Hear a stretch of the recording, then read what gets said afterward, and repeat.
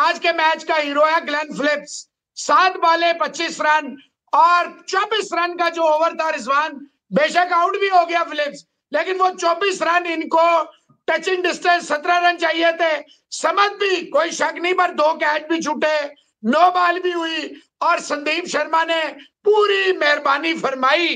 अड़तालीस का है, कुलदीप ने पचास गाया लेकिन बंदा यहाँ पूछे, ये इतनी थर्ड क्लास कप्तानी है मकरम की इतनी को थर्ड क्लास आज चाहल वाज अमेजिंग एक तरफ़ 214 हुआ इसने उनतीस रन दिए और देखे कितनी विकटें ले गया चाहल और दूसरी तरफ़ क्या अश्विन क्या कुलदीप क्या फलाना मुकाय को सिर्फ़ एक ओवर दिया और कैच भी मुकाय साहब से भी छुटा इटमायर साहब से भी छुटा।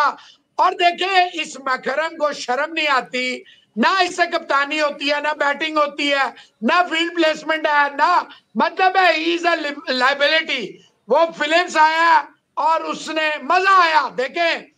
मज़ा आया ऊपर से, अभिषेक ने ऊपर से वो दूसरा जो आज खिला दिया, फिर त्रिपाठी ने थोड़ा मारा। क्लासन वही दस बारह बाले पच्चीस छब्बीस। भाईजान, पच्चीस छब्बीस से मैच खत्म नहीं होता ना। मैच खत्म करना होता है। और देखे मकरम आया, राना बॉल, बेशरम। इस स्टेज पे राना बॉल। और पे फिलिप्स ने आके इनको फिलिप्स के बल पर ट्यूब चले।